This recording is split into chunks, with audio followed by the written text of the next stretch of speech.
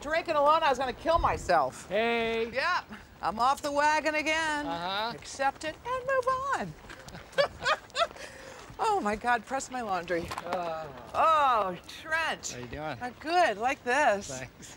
Steve, first of all, your character in this is is not exactly likable, mm-hmm. but there is a sort of empathy you develop for him over the course of the film because you can sense that there's he's the way he acts is out of sort of insecurity. And you're not really given any sort of backstory about him in the film, but was there something that you kind of worked up in your head to sort of understand him better? I just saw this guy as someone who isn't a bad guy or doesn't think of himself as a bad guy. Because I think, generally speaking, if you think somebody's a jerk, they don't think they're a jerk. They just think they're doing what they can do, and and and he just doesn't have the tools to do it in a better um, in a better way. You know, he's trying to help this kid. In his mind, he's doing what this kid needs.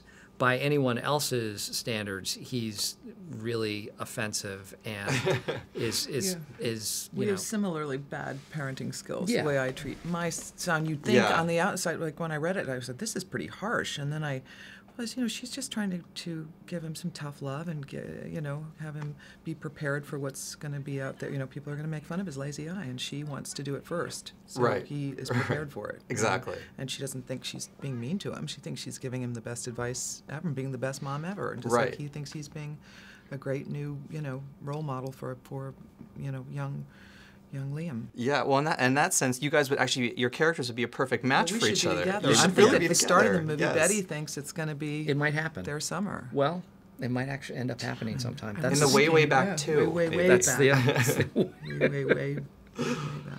Well, your Allison, your character is so much fun. She's so boisterous and just like kind of an over the top character. But again, we can all sort of recognize this woman. It's kind of an amalgamation of about 25 people in my life, but um, uh, but what I love about her is that I, I know how much pain she's in, and that's what I recognized with her. I just it, she just breaks my heart when you see people who are working so hard to show you that they're fine. This is going to be the best summer ever. Who cares? My husband left me. He's gay. So what? This is going to be fantastic. You know, she just is Yeah. like just overcompensating like you can't believe, and and she was so much fun to play and so exhausting. I, I really. Uh, You know, it was a lot of fun. Though. Well, and she has some of the greatest lines, like there, especially in her like sort of opening scene.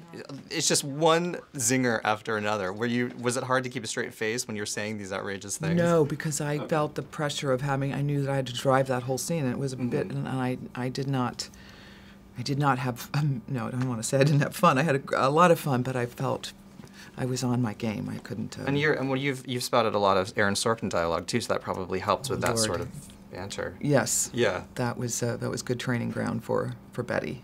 And what was it like working with uh, two directors, you know, Jim and Nat? This is their directorial debut. Was there sort of a, a delineation of their roles, or was it much more of a collaborative, you know, sort It sort was of really equal collaborative. relationship? Yeah, uh, yeah, I thought they were they worked great together. They um, Complemented each other They nicely. did. They um, they had different two different styles, but uh, it was it was kind of sweet. And only occasionally would I get, oh, oh I, you know, a direction from Jim, and I'd say, Nat, already talk to me, and uh, he totally disagrees with you. So you need to talk to me. Just were, Just creating chaos on the set. no, they, were, great. They were great together.